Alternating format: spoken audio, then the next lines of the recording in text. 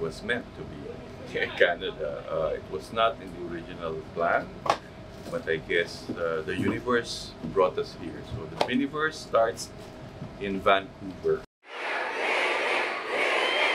ABS-CBN's entertainment production head Laurenti Jogi was right as the girl group Beanie filled the Vancouver venue to the rafters on the initial leg of their first international solo concert dubbed Beanieverse.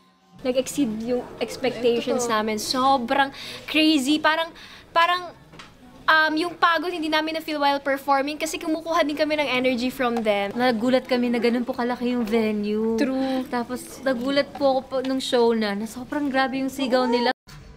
Vancouver Blooms sang along with their idols as the eight-member group performed their hit songs.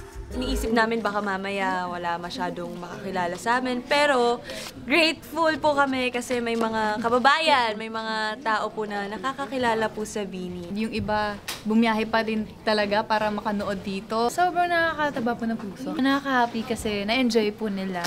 Thank you po, syempre, sa Vancouver Blooms. Kayo ang top one. Even in their short visit, Beanie left their hearts in Vancouver.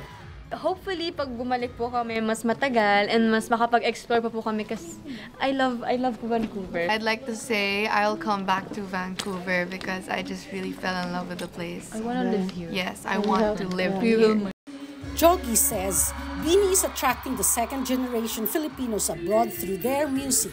For the nation's girl group, their goal is for their music and talent to reach people worldwide.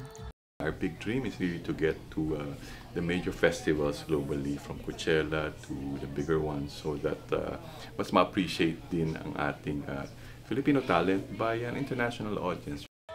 Cecile Docto, ABS-CBN News, Vancouver.